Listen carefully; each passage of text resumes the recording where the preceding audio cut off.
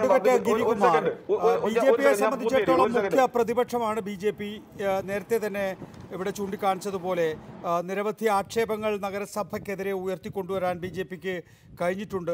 പ്രത്യേകിച്ച് നഗരസഭയിലെ നികുതി വെട്ടിപ്പായാലും പട്ടികജാതി ഫണ്ട് വെട്ടിപ്പായാലും ഒക്കെ തന്നെയും. ഇപ്പോൾ നേരത്തെ തന്നെ സി പി എമ്മിനെ സം സി പി എം നേരിട്ട് നിയമനം നടത്തുന്നുണ്ട് എന്നുള്ള ആരോപണങ്ങൾ ഉണ്ടായിരുന്നു എങ്കിൽ തന്നെയും ഇതാദ്യമായിട്ടായിരിക്കും ഇങ്ങനെ ഒരു കത്ത് പുറത്തു വരുന്നുണ്ടാവുക. അതിനകത്ത് സി പി എമ്മിലെ വിഭാഗീയത അടക്കം കാരണമായിട്ടുണ്ട് എന്നുള്ള മാധ്യമ വാർത്തകളും ഞാൻ മറച്ചു വെക്കുന്നില്ല. അപ്പോൾ ഇക്കാര്യത്തിൽ ഒരു അന്വേഷണം നടത്തുന്നുണ്ട് എങ്കിൽ ആ അന്വേഷണം നടക്കട്ടെ. ഈ കത്ത് വ്യാജമാണോ അല്ലയോ എന്നുള്ളത് സംബന്ധിച്ച് ഒരു വ്യക്തത വരുമല്ലോ അപ്പോൾ. അല്ല അങ്ങനെ അന്വേഷണങ്ങൾ നിരവധിയായിട്ട് ഇവിടെ നടക്കുന്നുണ്ട്. ഇവിടെ പരാമർശിക്കപ്പെടുന്ന തിരുവനന്തപുരം നഗരസഭയിൽ കഴിഞ്ഞ കുറെ കാലങ്ങളായി നടക്കുന്ന നിരവധി അഴിമതി ആരോപണങ്ങളെ കുറിച്ചിട്ട് അന്വേഷണങ്ങൾ പ്രഖ്യാപിക്കപ്പെട്ടിട്ടുണ്ട്. നിരവധി എഫ്ഐആറുകളുണ്ട്. അതെങ്ങും എത്താതെ പോയിട്ടുണ്ട്. എസ് സി ഫണ്ട് തട്ടിപ്പ്. ഒന്നര വർഷത്തിൽ കൂടുതലായി. എത്ര എഫ്ഐആർ ആയി എത്ര എഫ്ഐആറുകളുടെ പുറത്ത് നടപടിയുണ്ടായി? ആ, ക്രൈംബ്രാഞ്ച് അന്വേഷിക്കുന്നു ഇപ്പോൾ സ്പെഷ്യൽ ടീമിനെ ഏൽപ്പിക്കുന്നു. ഇതൊക്കെ ചെയ്തിട്ടും ഒരു നടപടിയും ഒരു ഇഞ്ച് പോലും മുന്നോട്ട് പോയിട്ടില്ല. ആദ്യം അറസ്റ്റ് ചെയ്യപ്പെട്ട എസ് സി ഫണ്ട് തട്ടിപ്പിൽ ആദ്യം അറസ്റ്റ് ചെയ്യപ്പെട്ട പത്ത് പേരിന് അപ്പുറത്തേക്ക് പോയ സമയത്ത് ആ ആരോപണ വിധേയനായിട്ടുള്ള എസ് സി പ്രൊമോട്ടർ അന്ന് അയാൾ ഇവിടുത്തെ ഓൺലൈൻ മാധ്യമങ്ങളിലൂടെ പുറത്തുവിട്ടത് എന്താണ്? ഇതേപോലെ പാർട്ടിയുടെ ജില്ലാ സെക്രട്ടറിക്കല്ല അന്ന് സംസ്ഥാന സെക്രട്ടറിയുടെ ചുമതല ഉണ്ടായിരുന്ന വ്യക്തിക്ക് അയാൾ തുറന്ന കത്തയച്ചു മാധ്യമങ്ങളിലൂടെ. ആ മാധ്യമങ്ങളിൽ ആ വന്ന കത്തിൽ പറഞ്ഞിരുന്നത് എന്താണ്? ഇവിടുത്തെ ജില്ലാ സെക്രട്ടറിയുടെ ഓഫീസിൽ നിന്നാണ് സി പി എമ്മിന്റെ ജില്ലാ ഓഫീസിൽ നിന്നാണ് തന്റെ നിയമനം പ്രതിൻ സാജി കൃഷ്ണ എന്ന് പറയുന്ന വ്യക്തി ഡിവൈഎഫ്ഐയുടെ സംസ്ഥാന നേതാവായിട്ടുള്ള വ്യക്തി നടത്തിലാക്കിയതെന്നും അതിന്റെ ചൂട് പിടിച്ച നടന്ന അഴിമതി ആരോപണങ്ങൾ വന്നിരിക്കുന്നു. അതിലെന്തായി അന്വേഷണങ്ങൾ? അപ്പോൾ ഇവിടെ അന്വേഷണം പ്രഖ്യാപിക്കാനും എഫ്ഐആർ ഇടാനും വലിയ താമസമൊന്നുമില്ല. പക്ഷേ അത് യാഥാർത്ഥ്യത്തിലേക്ക് എത്തുവാനോ അത് അന്വേഷണം കൃത്യമായി നടത്തുവാനോ തയ്യാറല്ല. ഈ പറയുന്ന ആരോപണ വിധേയനായ പ്രതിൻ സാജി കൃഷ്ണയുടെ സഹോദരി പേര് ഞാൻ പരാമർശിക്കുന്നില്ല. പേര് ഞാൻ പരാമർശിക്കുന്നില്ല ആ കുട്ടിയെ തിരുവനന്തപുരം നഗരസഭയിൽ താൽക്കാലികമായിട്ട് ഒരു ഡോക്ടർ നിയമനത്തിൽ അപ്പോയിന്റ്മെന്റ് ചെയ്തിട്ടുണ്ടല്ലോ. അത് എങ്ങനെയാണ് നടപ്പിലാക്കിയത്?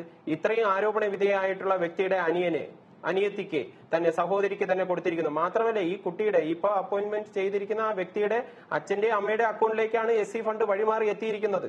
അപ്പൊ അത്രയും ആരോപണ വിധേയരായിട്ടുള്ള ആൾക്കാരുടെ പേരിൽ അന്വേഷണങ്ങളുണ്ട് എഫ്ഐആർ ഉണ്ട് ഒന്നും തന്നെ എത്തിയിട്ടില്ല. ഇത് ഇത് കൃത്യമായിട്ടുള്ള സി പി എമ്മിന്റെ സി പി എമ്മിന്റെ ഒരു നിലവാരമില്ലായ്മയും അവരുടെ ഒരു സ്ഥിരമായിട്ടുള്ള രീതിയും തന്നെയാണ് ഇവിടെയും കാണുന്നത്. ഇത് ഇവരുടെ മാത്രമല്ല നേരത്തെ സൂചിപ്പിച്ചതുപോലെ വിഭാഗീയതയുടെ അടിസ്ഥാനത്തിൽ അടുത്ത കത്ത് പുറത്തു വന്നല്ലോ. അവിടുത്തെ സി പി എമ്മിന്റെ പാർലമെന്ററി പാർട്ടി സെക്രട്ടറി മരാമത്ത് കമ്മിറ്റി ചെയർമാൻ ഡി ആർ അനിലിന്റെ പേരിലുള്ള കത്ത് പുറത്തു വന്നിരിക്കുകയല്ലേ? ആ കത്തിലും പരാമർശിച്ചിരിക്കുന്ന എന്താണ്? കുടുംബശ്രീയെ പോലും രാഷ്ട്രീയവൽക്കരിക്കുന്ന രീതിയിൽ പാർട്ടി സെക്രട്ടറിക്ക് സഖാവ് എന്ന അഭിസംബോധന ചെയ്തുകൊണ്ട് കത്തയച്ചിരിക്കുകയാണ്. അപ്പൊ ഇത് അവരുടെ പഠിച്ചതേ പാടൂ. അവർ ഇതാണ് പഠിപ്പിച്ചു വിട്ടിരിക്കുന്നത്. അത് മേയറായാലും ഇനി ഒരു സാധാരണ കൗൺസിലർ ആയാലും അവരുടെ ഏത് നിലവാരത്തിൽ പ്രവർത്തിക്കുന്ന പ്രവർത്തകനും ഇത്രയും മാത്രമേ ചിന്തിക്കാനും പ്രവർത്തിക്കാനും കഴിയുള്ളൂ. കാര്യം അത് ഈ പാർട്ടിയുടെ തന്നെ ഒരു സ്ഥിര സ്ഥായി ആയിട്ടുള്ള സ്വഭാവമാണ്. സി പി എം എവിടെയൊക്കെ ഭരണത്തിൽ കയറിയിട്ടുണ്ടോ അവിടെ എല്ലാം തന്നെ അവർ ഭരണത്തെ കാണുന്നത് അഴിമതി നടത്താനും സ്വജനപക്ഷപാതം നടത്തുവാനും അവരുടെ സ്വന്തക്കാരെ തിരികെ കയറ്റാനുള്ള അവസരം മാത്രമായിട്ടാണ് സി പി എം ഭരണത്തെ കാണുന്നത്. അതുകൊണ്ടാണ് ഈ തിരുവനന്തപുരം നഗരസഭ ഉൾപ്പെടെയുള്ള ഇത്രയും വർഷമായി തുടർച്ചയായി ഭരിച്ചിട്ടും എങ്ങും വികസനമോ പുരോഗതിയോ ഇല്ലാതെ പോകുന്നത്. പക്ഷേ നിരവധിയായിട്ടുള്ള വികസന പ്രവർത്തനങ്ങൾക്കുള്ള ഫണ്ട് വന്നിട്ട് ചെലവഴിക്കപ്പെടാതെ കിടക്കുന്ന സാഹചര്യമുണ്ട്. ഈ കത്ത് വ്യാജമാണെന്ന് ഭാരതീയ ജനതാ പാർട്ടി ഒരിക്കലും വിശ്വസിക്കുന്നില്ല. അങ്ങനെ വ്യാജമാണെങ്കിൽ അന്വേഷണം നടത്തി അത് തെളിയിക്കേണ്ട ഉത്തരവാദിത്തം പ്രാഥമികമായിട്ടുള്ള ഉത്തരവാദിത്തം ഇവിടുത്തെ മേയർ ആര്യ രാജേന്ദ്രന് തന്നെയാണ്. അല്ലാത്തടത്തോളം കാലം അവർ അധികാര ദുർവിനിയോഗം നടത്തിയിരിക്കുകയാണ് സത്യപ്രതിജ്ഞാ ലംഘനം നടത്തിയിരിക്കുകയാണ്. അത് അവർ അധികാരത്തിൽ ഇരിക്കാൻ തന്നെ യോഗ്യല്ല എന്നുള്ള രീതിയിലേക്കാണ് വന്നിരിക്കുന്നത്. മാത്രമല്ല ഇവിടുത്തെ സാധാരണക്കാരായിട്ടുള്ള ജനങ്ങളെടുത്ത് പറയണം. ഈ എംപ്ലോയ്മെന്റ് എക്സ്ചേഞ്ച് വഴി നിരവധി ആൾക്കാർക്ക് കാർഡ് എത്തിയിട്ടുണ്ട്. അവരെല്ലാം പ്രതീക്ഷയോടുകൂടിയല്ലേ ഈ ഇന്റർവ്യൂവിനും മറ്റുമൊക്കെ അറ്റൻഡ് ചെയ്തിട്ടുണ്ടാവുക? അവരോട് നിങ്ങൾക്ക് എന്ത് മറുപടിയാണ് നൽകാനുള്ളത്? ഈ നിയമനങ്ങളെല്ലാം തന്നെ നേരത്തെ സൂചിപ്പിച്ചതുപോലെ കഴിഞ്ഞ കൗൺസിൽ പീരീഡിൽ ഉണ്ടായിട്ടുള്ള നിയമനം താൽക്കാലിക ജീവനക്കാരുടെ നിയമനം വിജിലൻസ് അന്വേഷണം നടക്കുകയാണ്. അതിൽ അന്വേഷണം എങ്ങും എത്തിയിട്ടില്ല. അന്നും ഭരിക്കുന്നത് കേരളത്തിൽ ഭരിക്കുന്നത് ഇടതുപക്ഷമാണ്.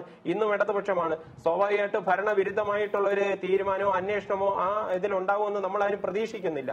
അതുകൊണ്ട് തന്നെ ഈ അന്വേഷണം പറയാനും അല്ലെങ്കിൽ വാർത്തകളിൽ പറയാനും മാത്രമേ ഉള്ളൂ. അതിൽ യാതൊരു സത്യസന്ധതയും ഇല്ല എന്നുള്ളതാണ് വസ്തുത.